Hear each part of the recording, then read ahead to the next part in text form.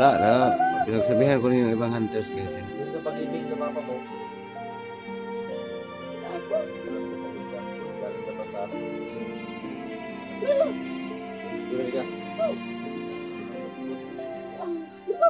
Sige, guspilan mo. Sige, guspilan mo. Go! Tama na eh. Oh, nakalimutan na. Limot ako dito. Ito na!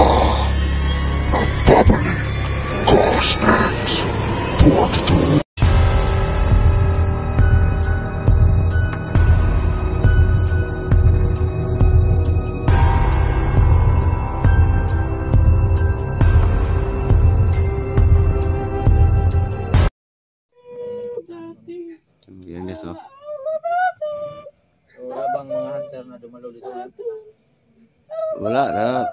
Pinagsabihan ko rin yung ibang hunters guys. Hindi sila nakapunta. Baka ulan kasi kanina. So ngayon guys. Kumbaga karugtong to sa update namin kanina ni May May. Ngayon may sekreto pala. May yeah, um, gusto nga aminin daw si May May sa amin. Na Yeah, makikita nyo ngayon guys kung ano yung gustong ipakita ni May May sa amin ngayon ni Mark. Ano yung sekreto. nabuhay pa yung kanyang ama. Mm. Yeah, abang-abang kayo guys kung ano yung ipapakita ni May. Kahit kami hindi hindi namin alam ni Mark kung ano yung ipapakita ni May. Medyo matamlay si Mimoy dahil naiiyak pa siya sa nalaman niya kanina. So umiyak si Mimoy kanina, hindi lang namin kinuha. May nakakawa. Na inaantok na si Mimoy. Pagod na. At gusto nang matulog ni Mimoy. So nilapag ko yung camera ko dito rin ako guys. dahil kanina nag-explore kami doon sa gubat. Kaso lang hindi nakasama si Mimoy. Kami lang lausig. Pero may pero pero. Nag-explore doon. Napagod ako. Yan ay gustong aminin daw si May May guys. Uh, abang-abang, abang-abang tayo. Kahit kami ni Mark, oh, ano yung nahulog? May gusto daw siyang ipakita ko aminin. Ah. Yan, interview ni Mark guys ha. alam mo ba yung daan doon sa lumang Makichismis lang muna tayo Ah, ha. Nakita mo yung video, di ba? Nalaman mo ba kung saan yung daan doon? Nabalik doon. Ama ni May guys is si Commander Alex. So hindi namin patayin si Commander Alex guys. Abang-abang kayo. Pagalingin ko siya. Kuta nila. Kailangan mapawalang bisa yung Alam mo ba, na kapangyarihan ng Commander Alex. yung ama mo, Hindi namin patayin. Kawawa naman si nung May May nag-vlog guys. alam mo ba yun? Kung wala ng ama. Sana hindi mapatay si Commander Alex sa ibang hunters guys. Kawawa naman si May May. Walang ama. Ilang taon na silang hindi nagkita. Kaya. Kung may ibang hunters na makapatay kay Commander Alex kahit ako hindi ako papayag. Kasi kawawa yung bata, si Maymay. Mawala ng ama.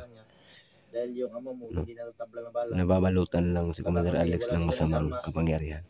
Bad spirit. May team ng kapangyarihan. Kaya yun yung gawan ko ng paraan para mapagaling si Commander Alex. So yun. Posible na bukas, puntahan natin dun sa dun sa dun, dun manda na yung palkatahan.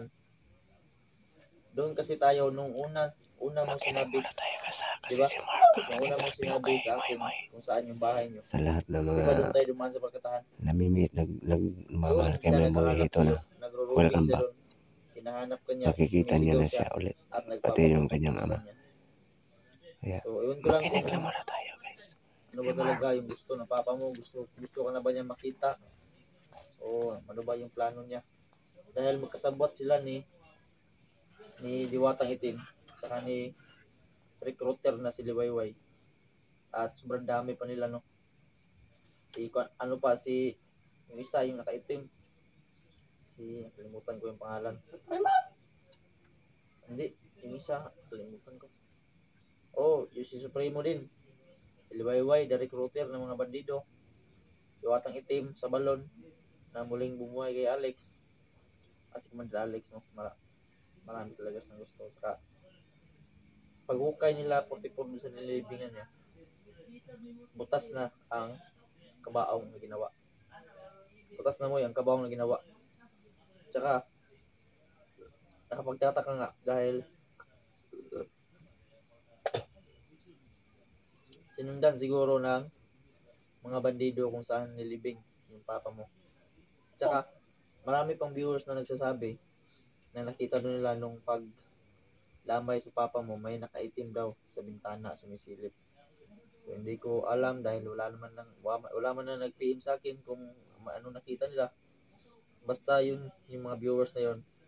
Marami talaga tayong matalino na viewers saka maraming tayong viewers na may biyaya sa mata. At nakita nila kaso lang sa dami ng comments hindi nata nila napansin na may ganong comment kasi kaya hindi sila na-aware. Dun sa mm, dun sa paglibing sa papa mo.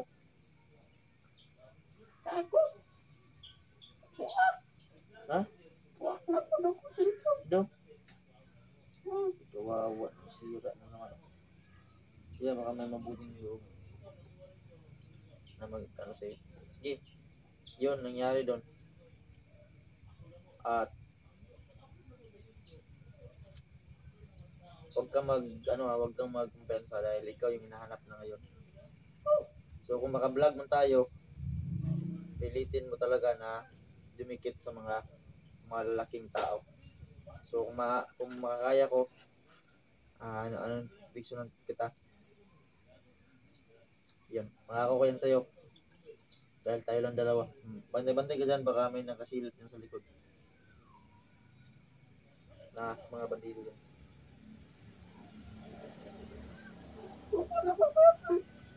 Bago na ka. Lang, na, may naready ako doon na na ano, na kumot mo sa unan. So, may naready ako doon. So, ano, ma matulog ka na ngayon kasi alam ko pagod ka. Galing ka pa sa ano? Kila. Kuya ka? Oh. Mm, but, Ang iba boy. Kasi guspilan mo. May guspilan mo? Ikaw. Ang tama na eh. Oh, may nakalimutan na. Limot-limot na ako dito. Mate. Sa mati pala. Oh. Sumasakit ang mga ulo ko. Iba kasi mga tol, pag sumasakit ang ulo ko, mga, alam ko, pinag-uusapan tayo ng mga bandido ngayon. Yan yung, ano ko, instinct ko. Maraming pinag-uusapan sa atin mga, mga tol.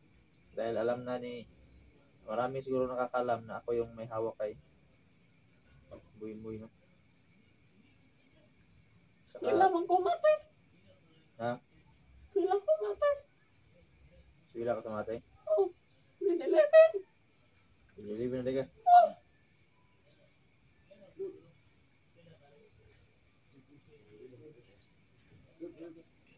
So marami, bakit kaya mo yun, no? Na marami, na, bakit kaya na gusto? Namimiss ba? Namimiss ka ba ng papa mo? Bakit gusto So yan guys, nakinig lang tayo no. Tsaka yung, May interview ni Kuya Mark Adventure. Si May May. Ano yun? Nakaka-touch talaga no. Di ba yan yung bigay ng May pinakit yung Diwata. yung diwatang Sa balon? Sa balon, di ba yan yung binigay niya? May? May connection pala talaga sila si May May. Ah, yun yung gamitin natin para ma- mapaulang bisa yung kapangyarihan ng ama mo. Sikreto mo natin yan ha. Itago mo yan ha. Nasaan ba yan? Bakit mo binigay yan? Sa papa mo? Oo. Ano din? Sa nana? Ano ba meron dyan? Mami. May kapangyarihan talaga. Yung guys, baka makatulong yan para mapawalang bisa. Ano ba nang meron dyan? May? Bakit, bakit binigay mo yan sa amin? Panita. Patada. Ayan yung hinahanap ng papa mo? Ah, nagka-connect. Ayan. Tak. Nagka-connect talaga. Dahil ayan yung din yung bato guys. na Baka yun sa ng puti dun sa balon. mapawalang bisa yung kapangyarihan ni Commander Alex na hindi na natablan. ang diwatang itim At muling at nabuhay. si Alex may connection. Yun ang sikreto guys. Kaya Bakit tago Kaya namin yan nila ni Mark. hinahanapin mo yun, no? Yung Oo. patunay. Mat. Hindi mo alam bakit kaya hinahanap niya yun. May, may, may sikretong kapangyarihan nga yan. Yung bato niyan. Kaya itago, it, itago natin yan. Magamit natin yan para ma, Bakit binigay ng diwata, no? Saka bakit kaya, baka mapagaling si Commander Alex niyan. bakit kaya naging ganito, no? So, yun ang nagulat talaga ako, no? Dahil ito pala yung binigay. Ayan yung napaka, ko, talaga guys. No? Napaka-suspense yung mga pangyayari. O, ingatan mo yun, ha? Dahil magagamit natin yan. Dati-rati alaga to ni Mark. Hindi natin alam kung anong ama niya, anong pangalan. Ngayon alam na natin na si Commander Alex pala. So, grabe may mga kapangyarihan yung dating kulto, kanibal o ang ngayon naging ko ba? So, hanggat maaari guys, hindi namin patayin si Commander Alex. Sikapin namin na ma- mapagaling siya. Yan yung goal ko. Goal namin ni Mark. Kawawa naman ang bata na mawala ng ama. Yan yun pala So, yung bato abang-abang kayo guys ha. So, Please, pag-support So, natin mga uploads yung namin. Dahil malalim yung gabi baka mapansin tayo ng mga bandido. O baka may baka may umaligid guys ha. Pasensya na po. Ah, short video lang to kumbaga. May, amoy kasi So, yung bato na yan. Baka ma... May napansin ka iba mo eh? Kakaiba? So stop namin to guys ha. Para may umaaligid. So God bless po sa inyong lahat. God bless po sa inyong lahat. Maraming salamat sa panood.